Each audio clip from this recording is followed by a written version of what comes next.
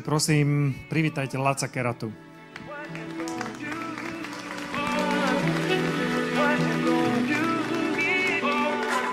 Ahoj. Ahoj, dobrý večer. No, super, malé domov. Uh, ja, ja som aj rozmýšľal, že či ideme vysvetliť ten názov, že čo to vlastne znamená, že malé domov? No, to je také komplikované, no.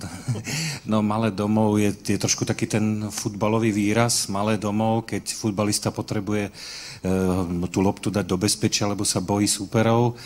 A, a mne to tak trošku evokuje ešte to, že teda malý domov, malé domov, vracanie, vracanie sa domov, malé poviedky o domové, zaciklenie sa do čohosi, takže nejak takýmto spôsobom si to ja vysvetľujem. No tam tých pár malých domov je aj takých, že ako niekedy aj v tom futbale sa to tak nepodarí, že ten brankár to ani až tak nechytí a že tá malá domov skončí takým vlastným... No ako v živote, že sa to veľakrát pokašle, keď to, to, to človek myslel úplne inak. E, počúvaj, písalo sa toto ľahšie ako román?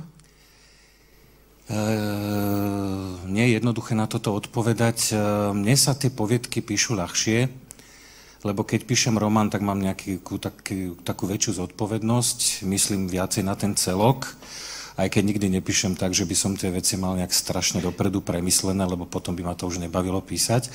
A priznám sa, že tieto poviedky niektoré som napísal tak, že som si sadol k nejakému písaciemu nástroju, ešte som vôbec nevedel, čo idem napísať a zrazu som to napísal úplne do konca.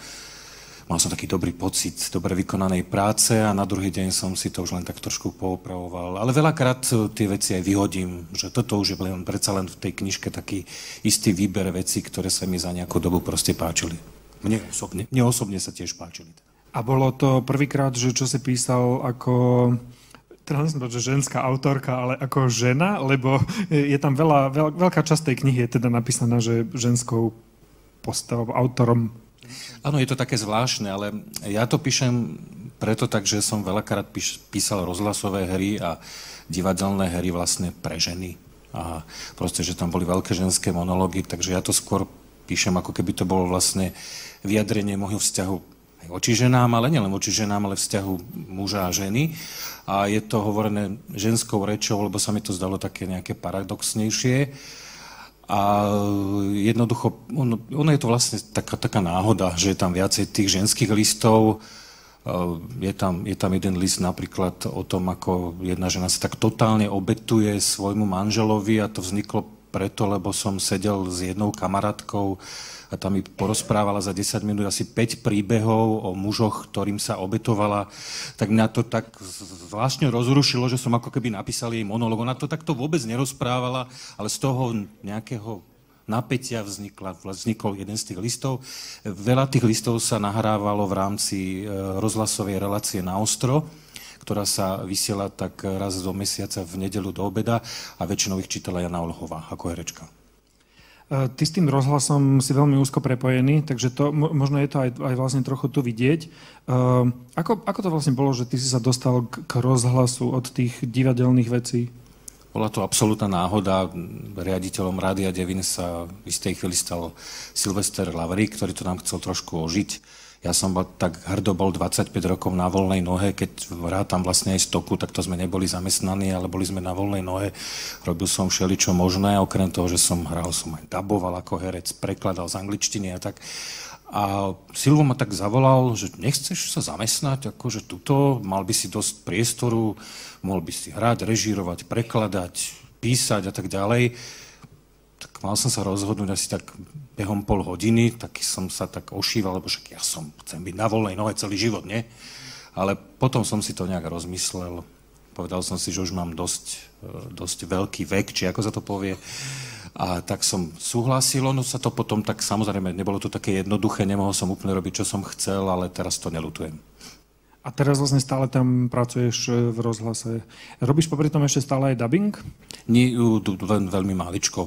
Veľmi maličko, občas sa k tomu dostanem, aby som nevypadol z tej koncepcie a aby som vlastne ešte to stále dokázal, lebo to je vec, ktorá sa proste musí trénovať. Tam musí mať človek postreh a všetko. Takže nechcem z toho úplne vypadnúť, ale nie je to už ťažisko mojej roboty. V rozhlase robím, teda vlastne som zamestnaný ako rozhlasový režisér. Ja som o tom dubbingu dosť veľa čítal takých rozhovorov vlastne s tebou, že kde si ty aj režíroval nejaké také dubbingové veci. A tam boli také celkom zaujímavé časti o tom, že ako vlastne, ako vlastne ten dubbing funguje, lebo my vždy vidíme iba ten výsledok, ale ako, ako vlastne tí herci, oni tam sú naraz, alebo nie sú tam naraz. No to je strašné, niekedy sú tam aj piati naraz a dabujú niečo, čo v živote nevideli, nepočuli, len zrazu majú túto text, istý úsek, ktorému sa hovorí slučka, zrazu sa mu tam pustí ten obraz, tam nejaký Američan alebo Talian alebo Španiel robí toto ústami, vy sa musíte sústrediť a proste ísť, tuto máte sluchatka, aby ste ho počuli, ale aby ste ešte seba počuli, tak tu nemáte sluchatko. A tak tu dabuješ a hovorí, a jasne chlapče, jasne, dobre, urob to, jasne, dobre, fantastické, dobre, a ty si hlaupák, a ľúbim ťa, ľúbim ťa. Tak. Potom prídem domov, čo si daboval? Čo ja viem. A vlastne máš aj nejakého obľúbeného, alebo kto je podľa teba dobrý dubbingový herec na Slovensku teraz? No, niekoľko. Peter Rufus je fantastický. E, Dušan Sabo je výborný. Tých mien je niekoľko. Sú to ľudia, ktorí sú tam akože veľmi veľa a naozaj akože ani nemôžu z toho vypadnúť, lebo v tej chvíli ako mesiac človek nedabuje, tak je ako keby mimo, že stráca. Ako futbalista, keď nehrá mesiac, tak jednoducho stráca už ten zmysel pre rytmus a toto. No. Poďme teda ešte k tomu tvojmu spisovateľstvu, lebo aj o tom sa tu tak trošku rozprávame. Eh, ja som nikdy žiadny román nenapísal, takže ani neviem úplne odhadnúť, že ako to je po štyroch rokoch. Ty si ešte teda pamätáš ten román, hej, Zlý herec. Áno, je to dosť o dubbingovom prostredí a filmárskom prostredí. Mne sa strašne páčilo, lebo my sa vo Voices tiež venujeme takej tej téme, že introverti a extroverti. A vlastne ten Timo, myslím sa volá, je taký, taký ľahko introvertnejší. Uh, vychádza to trochu aj z teba, alebo prečo si ho tak vymyslel? No nie je to autobiografický román, to sa ma veľa ľudí na to pýta, či som to ja, ten Timovrak nie som to ja, možno som trošku šikovnejší ako on, ale e, ten no, môj pocit e, bolo, prečo som vlastne napísal ten román, vychádzal z toho, že práve, že to bol taký veľmi atypický človek na to prostredie, ktorý nie je vôbec taký priebojný, ale mne je veľmi sympatický, lebo je ľudský, má rád ľudí, má rád prostredie, v ktorom žije. To je taký normálny, jednoduchý, fajn, fajn chlap a nejako sa tam prebíja. A vlastne toto prebíjanie tým prostredím bolo pre mňa takou ústrednou témou toho, toho románu. Ešte niekedy napíšeš román? No, priznám sa, že som začal písať román, ako vlastne došlo k tomu krstu tejto knižky, tak som si tak povedal, že tá knižka je taká celkom pekná, že možno, že sa oplatí písať ďalej, tak som... Konkrétne Silvester Lavrik ma zase oslovil, že proste pre istý časopis mám napísať poviedku, tak som si povedal, dobre, to bude tak začiatok nového románu. Tak som to začal písať, napísal som asi 15 strán a Silvo mi napísal, ten, ten časopis sa ruší, nič nebude. No ale mne sa to tak zapáčilo, že jednoducho skoro každý deň chvíľu píšem a, a, a zda z toho bude raz román. A môžeš aj prezradiť, že či je to niečo z toho hereckého, dubbingového prostredia, alebo niečo úplne iné? Je to niečo úplne iné. Môžem prezradiť, že mám 90-ročného otca, ktorý všeličo zažil. A je to taký veľmi zaujímavý človek, ktorý bol aj v zahraničí, aj sme spolu boli v zahraničí, expert OSN a tak ďalej.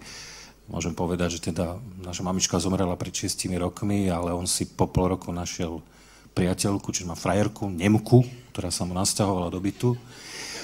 A ja viem veľmi zle po nemecky a ona strašne rada veľa rozpráva takou hutnou nemčinou. Takže väčšinou ja tak pritakávam, ona hovorí, hovorí a keď padne otázka, tak je zle, tak sa obrátim na manželku, že Ježiš Maria, čo, čo sa opýtali. No proste strašne veľa rôznych zážitkov mám, takže píšem aj o otcovi, ale vlastne tak trošku aj o, o sebe a o takýchto tých, takých tých nuansách tých jemných vzťahov a veku a, epochy a tak ďalej. No. Jak si hovoril toto o tom, o, tom, o tom vzťahu, tak mne to pripomenulo taký môj najobľúbenejší list z malých domov. Je vlastne tiež jedna žena píše tomu mužovi, že nechce mu teda vôbec radiť, ale že mu vybrala nejakú nasledujúcu manželku, ale že keby tá nasledujúca manželka mu nevyhovovala, tak ona môže tú nasledujúcu manželku zblížiť so svojím súčasným, skoro už ex-manželom následným. Takže ty sa dosť vyznáš v týchto vzťahových. Toto bolo, zase som stretol po 20 rokoch spolužiačku z gymnázia, ktorá mi v podstate toto hovorila. Ako sa rozviedla a teraz tomu mužovi radí. Mne to tiež tak nejak, aké vlnenie to vo mne vyvolalo, že som to na druhý deň napísal. No. Môžem sa ťa ešte spýtať, že ako sa ti spolupracuje s Kalim Bagalom? Veľmi dobré, pretože Kali Bagala mi dáva takú absolútnu slobodu. Nebavíme sa vôbec o tom, že či mám písať o tom alebo o hentom. Jednoducho skôr si dávame nejaké časy, že skús to nejak do leta už dať dokopy. No, keď to nedám, no dobre, tak, tak skús ešte dva mesiace a tak ďalej. A posledný raz vlastne, ako som dal do, túto, poviedku, túto, poviedkovú knihu dokopy, tak vlastne ja som mu to odovzdal skoro vlastne do poradia mi nerozprával, však samozrejme, že som nad tým uvažoval, nad, nad takými vecami, ale mám pri ňom takú slobodu samozrejme, že želám aj jemu, aby sa mu nesmierne darilo v tej jeho ťažkej vydavateľskej práci, lebo však ako to nie je jednoduché život eh, vydavateľa, tak by som ja rád s ním ďalej spolupracoval. Tak ja želám aj tebe, aj Kalimu, aby sa vám to veľmi dobre darilo a Mále domov u mňa super, budeme netrpezlivo čakať, lebo to je tohoročná kniha, takže ona ešte stále, možno aj v tej Anasoft litere sa objaví, tej budúcoročnej, uvidíme. Máš ty mimochodom nejakého favorita v tých tohoročných? Je niekto, že koho by si ty si myslel, že je fakt dobrý z tých desiatich finalistov? Neviem, či budem dostatočne objektívny, lebo v rámci divadla Stoka ja som strašne veľa zažil vlastne s Luciou Piusi, že sme boli kolegovia a strašne veľa tých zájazdov sme zažili a tak ďalej. A tá, tá jej kniha Život je krátky vlastne je veľmi inšpirovaná tým stokárským prostredím, takže tá kniha mi, je z tých knih tak nejak e, dosť blízka a ako nejaký fajním, ale v rámci rozhlasu som ešte, ešte ako režisér vlastne robil načítavanie kaletopanky od Víťa Staviarského, to sa mi tiež nesmierne páčilo. Takže tieto dve knihy mne sa páčia najviac. Super. Veľmi pekne ďakujeme. Láco Kerata na Voices Live. Ďakujeme ti, Láco. Ďakujem. Prosím.